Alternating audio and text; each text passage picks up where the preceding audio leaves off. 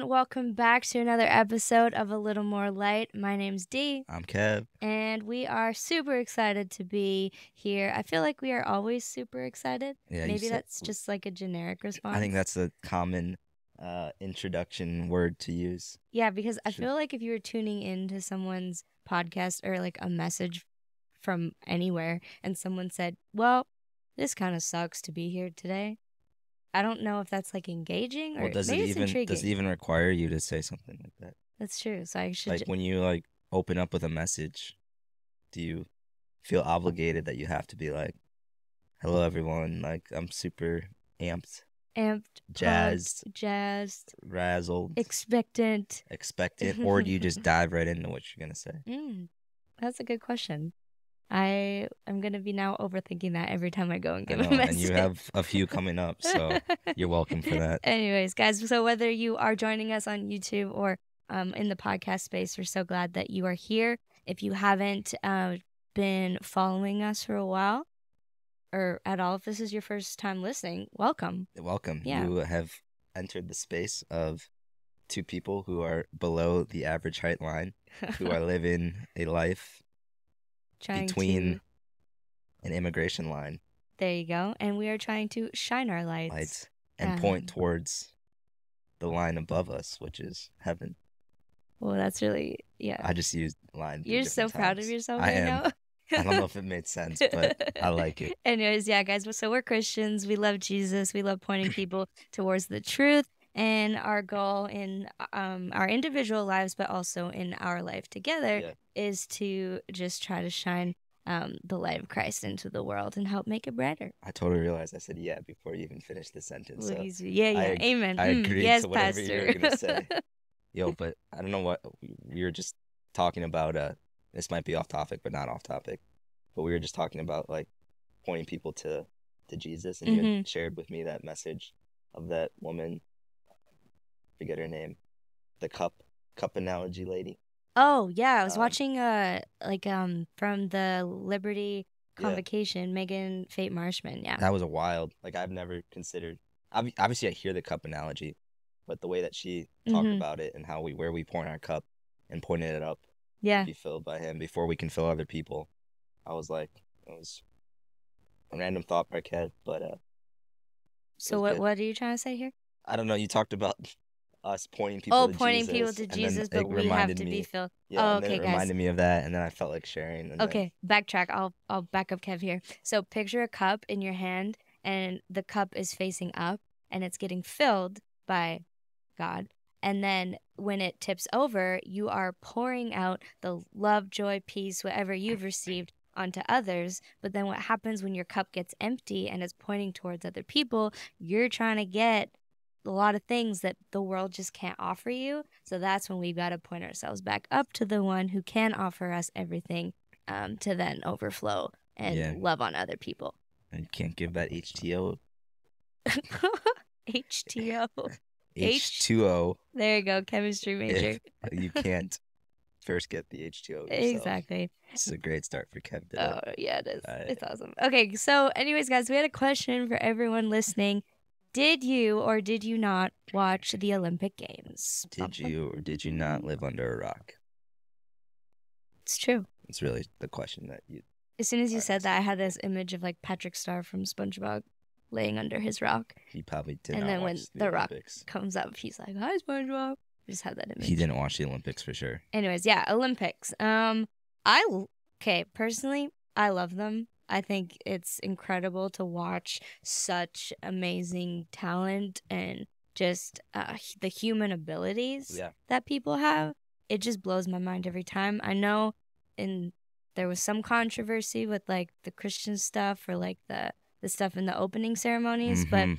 Kevin and I talked about this, and you know, everyone's entitled to their own opinion, and we have ours. And I think that um, it's, you know, the world tends to make a mockery of of a lot of things, and I do not think that is a reason not to watch um, people who've like worked their entire life to perform at that level, who had no, no perp like you know like Yeah, for sure. weren't I'm- related to the those things that we're talking about. yeah, I mean, there's a opening whole. You could go a whole rabbit hole of why people didn't watch the Olympics and all that. I mean, I agree with you. I don't think there's any excuse for not watching people who Mhm. have poured their heart and soul into an athletic competition that only happens four times a year. Yeah. Wow, four times. Holy. Once, once every, every four years. years. Jeez, guys, I'm sorry. Um, once every four years, and second to that, um, whether or not it was a mockery of Christianity, you can have your opinion there, but if you're so, maybe this is a take that I have, but if you're so willing to and so hurt by that and protesting something and not deciding to watch it, like as a Christian, reality check. A lot of people don't believe the same things that you believe. Yeah, That's true. Um, and so, like, I don't think it's a excuse to not watch the Olympics yeah. because of one aspect in an opening ceremony where culture is also showing off their culture. And let's be real, that's France.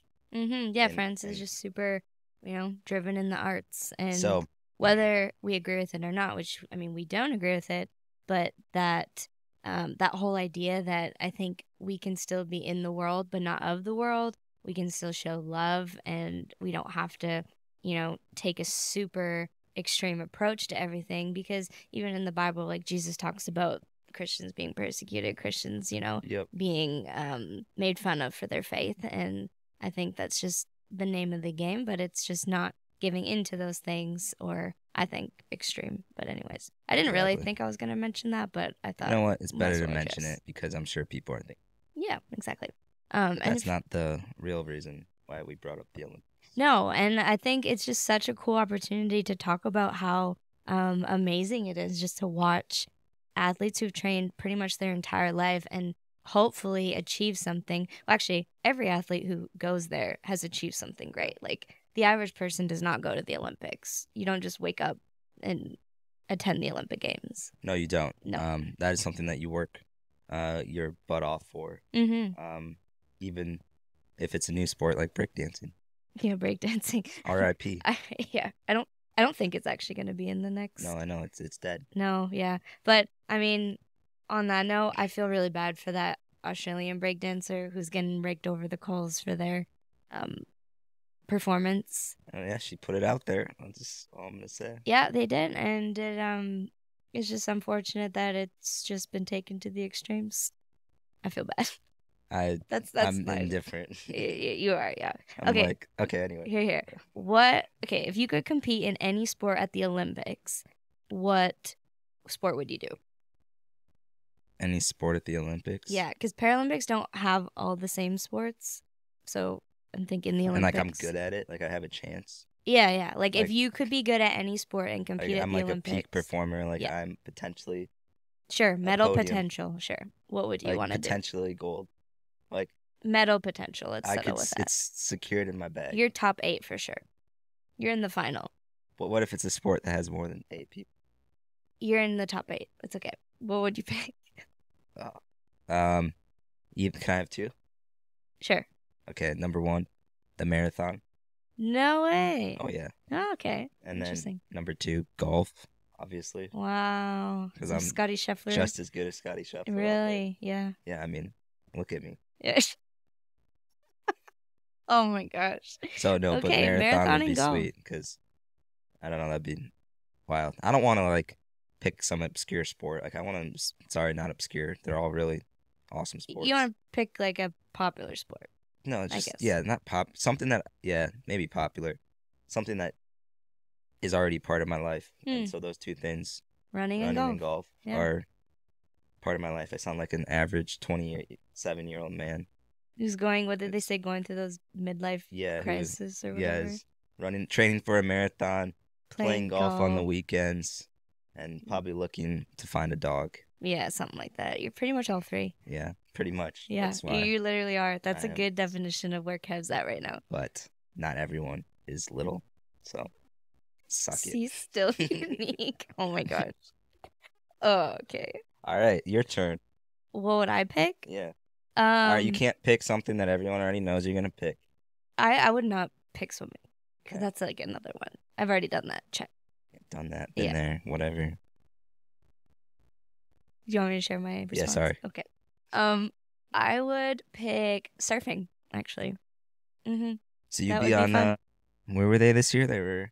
In Tahiti. Wow, you guys were on a cruise ship. Then, Yeah, living it up, yeah, we were. We were on a cruise ship, about to surf. about to surf. what would you? What would be your, uh, your trick? Uh, I don't really.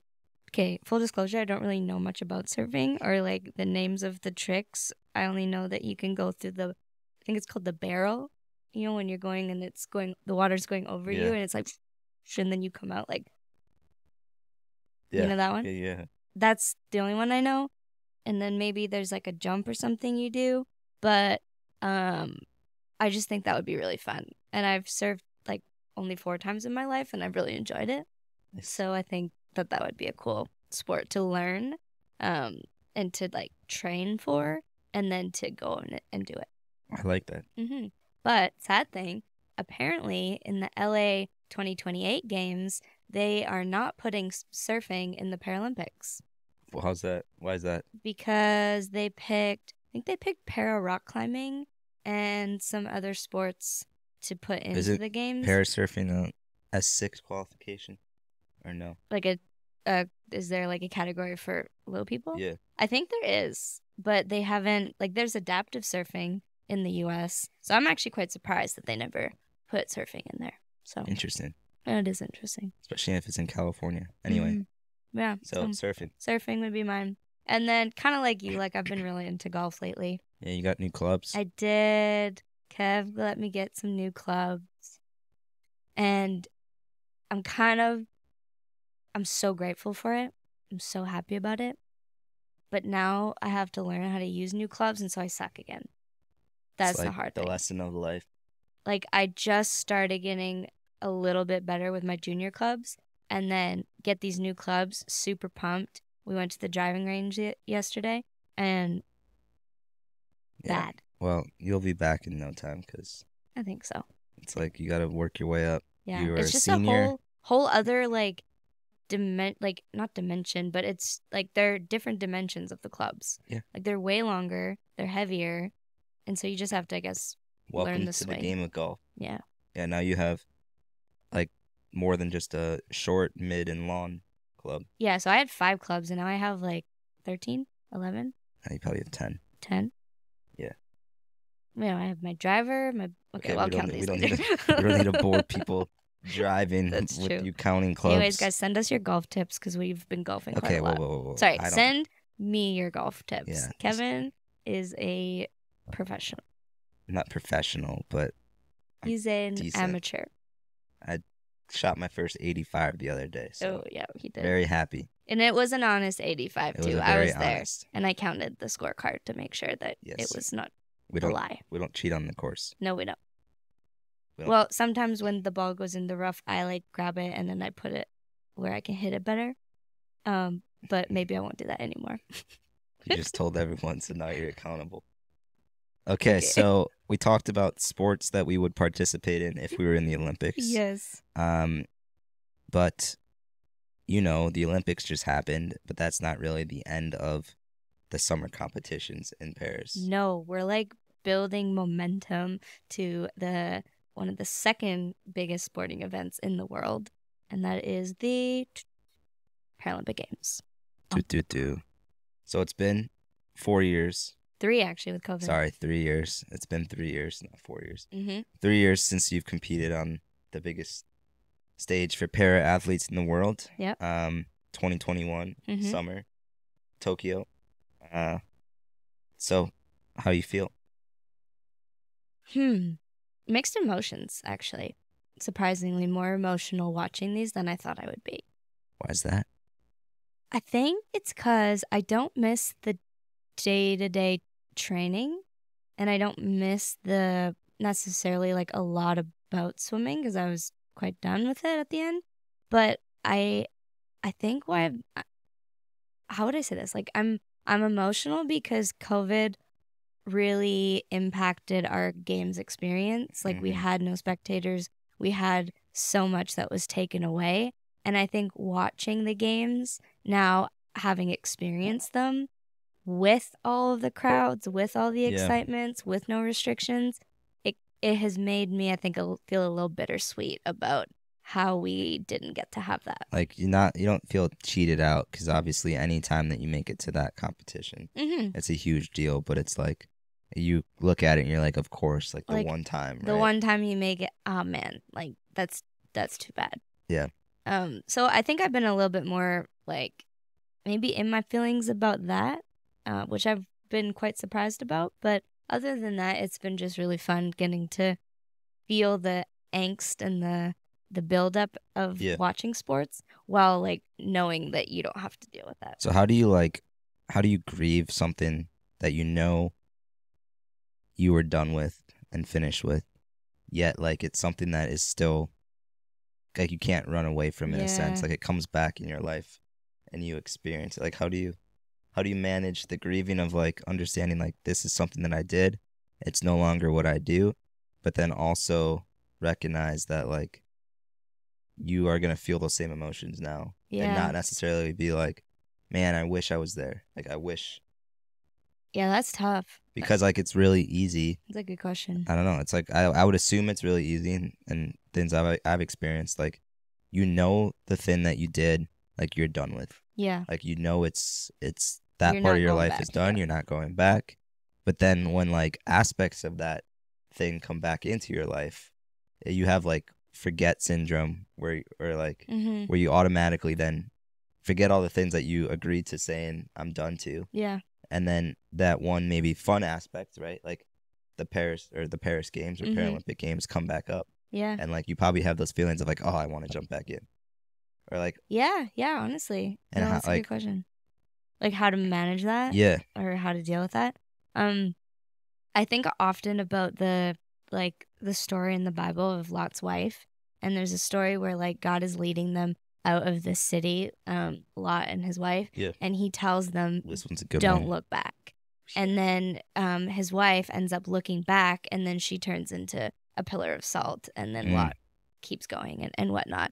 And I think there is something that's so important about when a season of your life ends or when a door closes that w- there is an important aspect of us completely turning our focus and not looking back. Yeah. Because if we are to be led out of something, so like can't be a swimmer my entire life. Like we can't do a lot of things like for very long. Mhm. Um and there's always new things to do. I don't think that we would actually be able to leave the old things to embrace the new things. Yeah. And so for me, I think it's just been a lot of like, okay, don't look back. Like, don't look back. That doesn't mean I can't look back on memories or I can't, you know, keep friendships or, or whatnot. But it's not looking it's it's kind of that just that reality of like, no, that's not what I do anymore. I said I was done. And now don't look back and focus on what's next. Hmm. Because if you don't, also you're gonna miss like everything that's Yeah. happening in front of you. And like I think I would feel really bad if I was so caught up in what I'm not doing anymore, what I was like, what I feel like I'm missing out on. And I was totally missing what you and I are doing now. Yeah. Like that would be a, a huge good. disservice to you, huge disservice to God and what He wants to do um, in our life now. Yeah. Um, and then it would also just be like, I think, just constantly bringing up emotions of Yeah. what we went through. And yeah, that's what I would say. But even like what you said about how those emotions come up, um, when your eyes are focused like forward and not backwards, that doesn't mean that you won't experience those emotions, but at least you're not stuck dwelling on them and like stuck in them. Yeah. Like your eyes are forward, you're moving forward. Those emotions might come onto you, but like they're not you're not sitting in them. Yeah, that's good. Like you're moving forward. And Mhm. so I I would say to anyone who's like trying to get out of a situation that they've, you know, that the door's been shut, it's really obvious, um, a season of your life is over and you're trying to move forward, don't d- get discouraged when you do get like bogged down by some of those Yeah. old emotions because emotions come and go. Like Yeah. there's ebbs and flows of them. Absolutely. But as long as you're still facing forward, you won't stay in those. Yeah. Right? So, yeah, like that facing forward is is like the ultimate act of obedience, right? Like Mhm. God God has asked you to, to obey and it's usually a command yeah, that he's given you to say, Hey, move on or move Mhm. out of this and like it's not only things that have been good in your life that are past struggles, past things. Like yeah, he also like past sins, it's the same thing, right? Yeah. Like if you look back on things that you knew weren't good and continue to dwell on them, and then it might lead you back into that temptation to do it again. yeah. Because what you're focusing on, like that's what's gonna occupy your mind. And if you're focusing on what's ahead of you, what God's doing, you're focusing on Jesus, even when those emotions come, at least you're not fixated on those. Like you can experience them, but There you go. Yeah, so that's but that's really like I say that, but I'm not I'm no expert at it and that's Yeah. been a little bit more of a struggle watching these games. And I'm sure when the Paralympics start on August 28th, like I'll feel the same type of tension. Yeah. Um, but now I just get to watch and just be super happy for my friends, super excited for everyone, and get to, you know, like I'm a Paralympian for like the rest of your life. the rest of my life. So that's you can't take that away. can't. Mm-hmm. No, it's pretty cool. Yeah. And uh, I think your Paralympic journey was, I mean, different than most for a lot of reasons, but uh, also this week something pretty exciting came out. You got to document your Paralympic journey. I did. Yeah. So what what came out? Uh, so I was in a documentary um, that was pretty fun to be a part of. And this documentary is called Rising Phoenix Road to Tokyo. And it's a uh, production company based out of the UK who followed 12 athletes on their road to the Paralympics. So we started filming in, I think it was like April, May. I think it was May of 2020. So right when COVID kind of started, um, I built a swimming pool back in the day in our backyard, and I think that's how they fo- found me. And then I auditioned for this thing. I, they obviously liked my my tapes and stuff, and so then, um, basically it was, I guess 2020, a year and a half of filming ourselves throughout the pandemic, documenting the changes, documenting the training, the the closures, the vaccines, the um, highs and lows, the the games getting postponed. Mm-hmm. All of that was documented on camera. It's wild. It's so wild. And then um, my journey to making the games was documented, and then eventually when I was in Tokyo, they filmed that as well. Yeah. And it just came out, like Kevin said, this week. Craziness. Mm-hmm. So it's three episodes, like 45 minutes each. And um, episode two, when you guys watch this, uh, we will link them below. They're all on YouTube. But episode two, bring your tissues. It's a, it's a It's a tear. juicy It makes me cry every time. Um, Well, it's cool to watch. I mean, we were just dating. I when you started, we weren't dating so yet. true. Yeah. Um, we started dating in December of that year, so you were in the the thick of filming, so to speak. I was. Yeah. using your techniques to be able to film yourself. So Yeah. the crew didn't have to come, but um, no, it's pretty cool to watch the full production now Mm-hmm. um, and relive that that time of your life. That's that's true because like Kevin and I we were long distance and so we he wasn't with me during this period of time. So I guess like seeing that on film would be pretty cool for you Mhm. to see. kind of. Yeah. No, it's interesting. And it's it's really well done. Matt Whitecross was the director. Um he's awesome. He directed a lot of stuff with Coldplay. Um he's amazing. His kids are great. Um So go check it out. yeah. Mhm. It was it's it's good. It's a good one. But it's only available on YouTube from now until September 8th when the games are done. So make sure you go and watch, share with your friends and family. If you're Let me know what you after, think. sucks for you. Yeah. That's hopefully you're watching it in that time frame. Um, but it's cool because it really sets the stage for the Paralympics, what to expect when you guys watch it. Um, and I hope you guys do really like tune into the Paralympics because it really is not second tier Yeah. sport. Like it's it's pretty incredible um, watching some of the athletes and hearing about the stories and the lives that they live um, and how they've chosen to you know pursue something as cool as sport. And so Well, I think the coolest thing about the Paralympics is like, obviously, it brings a wide array of individuals together, but you Mhm. have a wide array of um, experiences. And what's so crazy about parasport is you have individuals who have been disabled their entire lives, true. but then you have also individuals who've experienced um, both sides of the coin, so to speak, where they've been able bodied um, and, then it become then disabled. become on. and yeah, that- wow. it's just a wild um, mix of talents and athletic abilities and i think in parasport too like watching that documentary you realized you didn't necessarily have to be like uh I don't know how to say this like you didn't have to be an elite at that at a, some of those sports Mm-hmm. at like a really young age like some of Mhm. these people found a sport because of the, like Yeah. as a coping mechanism for their disability or as like an outlet for their disability and they found it later in life but yet they still excelled because they have like Mhm. athletic abilities like i'm thinking about that woman from the us like i think she was an amputee that then Yeah. became like a track star yeah. and then but then for you it's like no swimming's been part of your life from For a while. a long Mm-hmm. while so it's like it's wild and then you get p- people with different disabilities racing against each other and i still don't understand the classification systems but Many people don't. it's insane so Yeah, it's it is cool, and it definitely uh, broadens your perspectives. I think, and Yeah. it um, hopefully it can be of some sort of an encouragement to you know dig a little deeper, push a little harder on the days that you don't want to. When you see um, people who definitely have it um, a lot more challenging than the average person, you know, excel at that level, mhm. and it's just great. Like sports are fun to watch. amen I mean, two athletes saying that's pretty easy, but yeah I think a lot of people can get and gain excitement and motivation by watching something like the Paralympics. So definitely watch. Kevin and I will be watching as much as we can. Uh, we've got a busy couple months coming up, um, which we're very excited about. A lot Yes. of traveling, a lot of um, speaking, a lot of podcasting, and just having a good time. it's gonna be great It's going to be great. So, so you got anything else for the peeps I don't have anything else for the peeps. so today was good we talked about a lot i don't remember exactly what we talked about Oh my gosh.